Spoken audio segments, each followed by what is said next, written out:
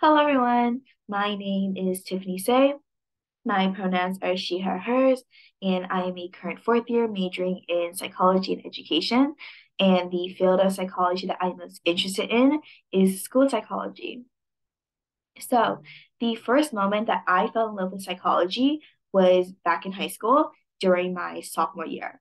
I took a peer counseling course, and in that course, I learned a whole variety of topics. But on top of that, we did fun activities like taking personality tests. And so I absolutely loved that course. And I decided to take it again my junior year. And on top of that, again, I took it my senior year.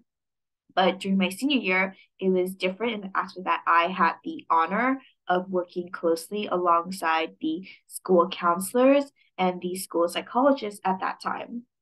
On top of that, I was finally able to take AP Psychology, and I also took dual enrollment community college courses in child development.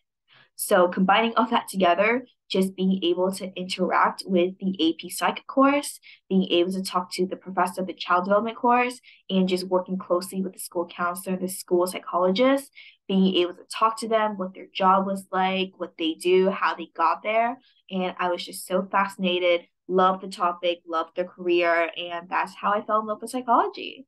And here I am now. So, yeah, thank you for listening.